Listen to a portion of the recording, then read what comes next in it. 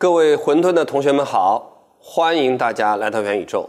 那么今天课程的主题呢，是从网络进化和文明演化角度来初探元宇宙，主要会谈及到五方面的内容。第一是如何定义元宇宙，第二的话呢，会跟大家讨论一下相比移动互联网，元宇宙主要的进化。那么第三个的话呢，会谈一谈在元宇宙可能的一些投资方向。第四个就是元宇宙会延伸出的一些原问题、一些哲学问题、社会管理问题。那么第五个是从人类中心视角角度我们来看待的地球的生物的演进。下面我们先谈第一点，就是如何定义元宇宙。其实我觉得至少有三个角度的理解。那么第一个呢是最基础的理解，其实它就是下一代互联网的一个代名词，就相当于是物联网。加上区块链，加上 AI，加上高速移动互联网，加上 AR、VR，这个综合在一起就是下一代互联网。那么下一代互联网，你总要给它一个名字嘛？那我觉得叫元宇宙也是妥当的。那么如果要进一步去理解，也就是二点零版本的理解元宇宙的话呢，你一定要认识到元宇宙是人类社会形态的一种进化。其实从高速移动互联网开始，呃，有很多人越来越感受到自己是。物理生存跟数字生存啊是并行的。比如说，你现实社会你有一个物理的身份，但是呢，你在网络上你有社交媒体的化名的或者实名的身份，你有你的这个呃金融的身份等等。所以呢，我觉得进阶的理解，就二点零版本的理解，元宇宙呢是人类的数字生存的新形态，是人类的物理生存跟数字生存实时混合的一种生存状态。今天其实最主要通过这个课程呢，试图让同学们理解。我觉得元宇宙最重要的就是三点零角度的理解，就高阶理解。元宇宙呢是人类协作的一个新阶段。元宇宙的核心是通过让整个地球上，甚至将来地球之外的人类，那它的价值跟信息都能够高速的自由流通。那么让没有信任的和没有社交关系的人和物。能够低成本的、远程的、实时的互联协作起来。那么，如果站在文明跟地球的生物演进角度出发的话呢？我想，在元宇宙这个时代，你应该能看到，是人类在大脑皮层进化极大的提升人类的协作之后的人类高度协作的一个新阶段。地球人类会被元宇宙连接成一个巨大的生物，它有自己的大脑，有自己的目标导向。也会有环境反应的行为。那么，关于元宇宙究竟是什么样子呢？其实艺术家呢帮我们做了很多想象。在这儿呢，我呃列举四部电影。第一部电影的话呢，其实必须提到的就是《阿凡达》。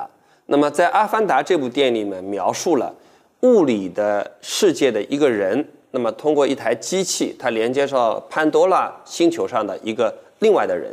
那么他们俩的人格跟思维是完全吻合的。那么，在潘多拉这个星球上，那个活生生的人，他并不知道自己是被这个地球人类所控制的。他拥有自己的完整的人生的呃履历，有自己的人格。那么，这个电影呢，就非常好的揭示了，在元宇宙当中，几乎每一个现实的人，将来都会有一个数字孪生体的存在。第二部电影呢，就是《头号玩家》。那么在《头号玩家》里面呢，它也揭示了一个非常重要的元宇宙的一个特征，就物理世界的价值跟元宇宙的价值啊之间是融合互通的。那我们看到在那部电影里面呢，有一些劫匪啊，他在现实世界中打劫，但是在这个打劫当中，他获得的一些道具是可以帮助他在线上世界呢得到更好的表现，那么得到更好的价值的。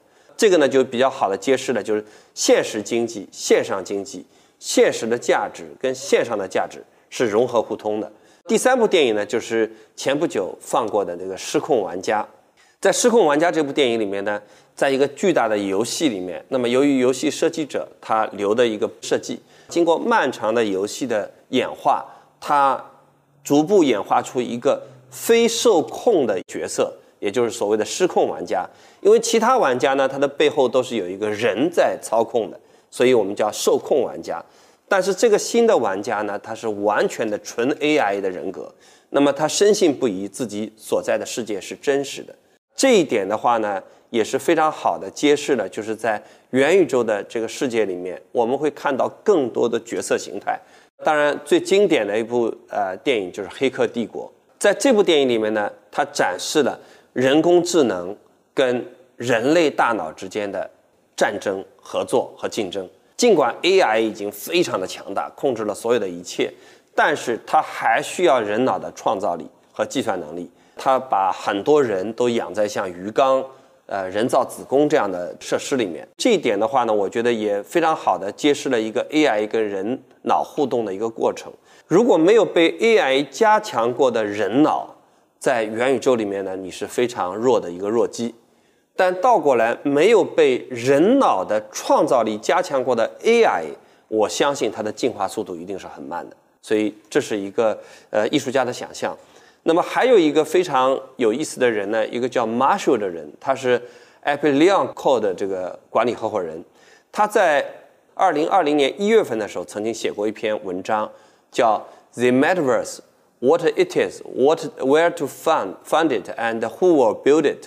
在这个文章里面呢，他非常前瞻的讲了元宇宙的很多定义，我认为是非常非常有价值的。第一个是元宇宙是什么，第二元宇宙不是什么。第一个呢，他说元宇宙的特征呢是持久化的，所以它永远不会重置，也没法暂停，也无法结束。第二的话呢，他说元宇宙呢是保持跟你的生活是保持实时和同步的，也就是说元宇宙是一种活生生的体验。你每个人是可以持续的、实时的去感知、去体验它的。第三个的话呢，他提到元宇宙是一个充分运作的经济体，那么个人和企业都能够在其中创造、拥有，并且投资和销售数字资产，那么能够像现实世界一样的通过工作和投资获取收入。第四点呢，他提到的元宇宙会具备前所未有的数据的互通性，它主要指的是说，在元宇宙里面呢。这些所有的平台再不像在 Web 二点零或者一点零一样呢，是一个个的信息孤岛。我加了一点，我认为除了在元宇宙当中我们会看到数据的前所未有的互通性之外呢，大家一定要注意到还有价值的前所未有的互通性。我们要看一个项目或者看一个服务，它是不是典型的 Web 三点零的话，或者元宇宙的话，我觉得一个核心标志之一就是要观察它的数据和价值是不是。完全的没有阻碍的有互通性的，我给大家举一个非常现实的真实的例子。那么在元宇宙在以太坊上呢，有一些非常有竞争力的期权的这个交易所，最大的叫 Hedrick，它占到整个交易的市场份额的百分之八十。但是最近呢，崛起了一个叫 Open 的这样一个新的期权交易所。那么这个交易所呢，它之所以能战胜 Hedrick，最重要的一个它的创新就是。它的期权从一开始设计的时候，它就把它设计成一个 token。这个 token 的话呢，是可以自由的流动和交易的。呃，它把自己的产品、把自己的服务当做一个基础设施，更方便让别的协议、别的产品来调用。那么它的产品是非常容易被组合的，是标准化的。所以当他在做产品推广设计、市场推广设计的理念的时候，他想的问题不是说我是对 to B 去拓展。还是 to C 去去拓展，他还想到了我的产品要卖给别的协议、别的智能合约。这个 Marshall 呢还提到第五点，元宇宙呢，他说内容是由参与的用户来创建的。呃，大家如果熟悉 Web 二点零的话，应该知道它的行话就应该叫 UGC。但是这里面呢，我想再加一句，就是不仅内容是由于参与的用户创建的，实际上这些用户也享有他们所创造的价值。那么这一点呢，也是识别一个项目、一个服务是不是典型的元宇宙，或者是不是典型的 Web 三点零的核心标志之二。那么第三个核心特征就是说，我们要看它的社区规则的管理权是归谁的。那么如果社区规则的管理权是完全归平台的，那你不是一个典型的 Web 三点零或者元宇宙的这么一个呃创新服务形态。那么社区规则呢，应该更多的由社区的所有。参与者，他们来共同制定。那么第四个核心特征就是，要看这个项目、这个服务是否最大限度地利用了元宇宙自带金融工具的优势，已经把金融模型、价值分配模型已经引入到它的呃商业模式里面来。这几个呢，都是元宇宙或者 Web 三点零的一个核心特征。那么在元宇宙里面有个非常知名的。这个 VC 的呃投资平台叫 A 十六 Z。那么 A 十六 Z 呢，它有句名言，就是说最好的创作者掌握 NFT，那么最好的 NFT 演化成 DAO，最好的 DAO 使用 DeFi。我认为这三句话呢讲得很精炼啊，但是其实讲的是非常精髓的。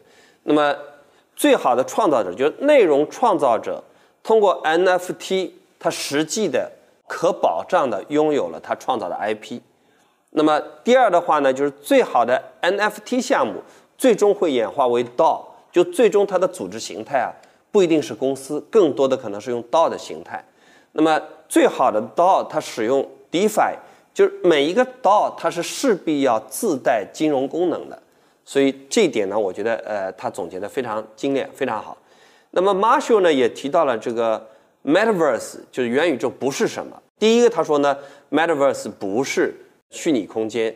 当很多人一讲到 Metaverse 的时候，都会想哇，那跟我以前玩过的 Second Life 不是一样的吗？那是不一样的，因为 Second Life 它就缺少一个可运作的经济体，它只是一个可以游玩的一个虚拟空间。